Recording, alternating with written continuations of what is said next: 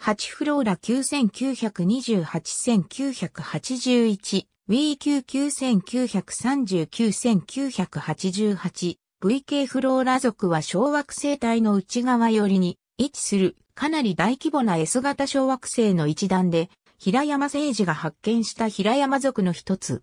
小惑星族としての起源や特性については、今のところ詳しくわかっていない。メインベルトの小惑星のうち4から5%が、この族に含まれる。この小惑星族の境界になる基準がよく分かっていなかった頃、フローラ自身の位置がこの族の端に近かったため、フローラが組み込まれるまで、この族はアリアドネ族と呼ばれていた。フローラ族で最も大きい小惑星は直径約 140km のフローラであり、これ一つでフローラ族の質量の80%を占めている。にもかかわらず、この小惑星は母天体となった小惑星に大きな衝突が幾度かあったためかかなり砕かれており、フローラ自身もおそらくその母天体の破片のダブルパイル天体だと思われる。残りの破片の多くをアリアドネが含み、さらに残り9%ほどをその他の小さい小惑星で分け合っていると考えられる。最初の衝突以来、母天体の破片の多くはおそらく二次衝突などの過程で消えていったと思われる。例えばフローラ自身の質量も母天体の57%程度であり、フローラ族全体を合わせても母天体の80%にしか満たない。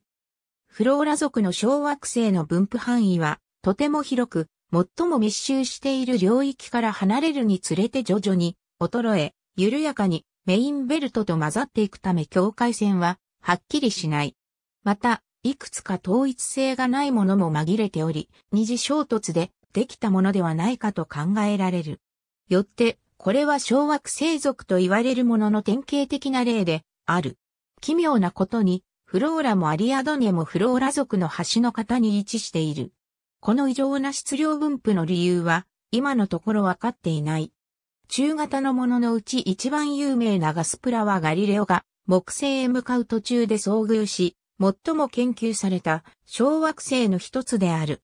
ガスプラの研究は、この小惑星族が2億年を超える歳月を経ていることを示唆し、母天体の構成を少なくとも部分的に識別することができた。フローラ族の小惑星は、地球に降り注ぐ隕石のうち38%と同じ L 型コンドライト隕石の母天体の有力な候補と考えられている。この説は、フローラ族が乳6永年共鳴という不安定な領域に近く、小惑星のスペクトル特性がこのタイプの隕石の母天体と一致していることによって裏付けられる。フローラ族は平山聖治の手によって発見された最初の5つの小惑星族、通称平山族のうちの一つであり、番号の若い小惑星も多い。S 型小惑星はアルベドが大きくなおかつフローラ族は主要な小惑星の集団の中で最も地球に近いため、早期に発見されたものが多いのである。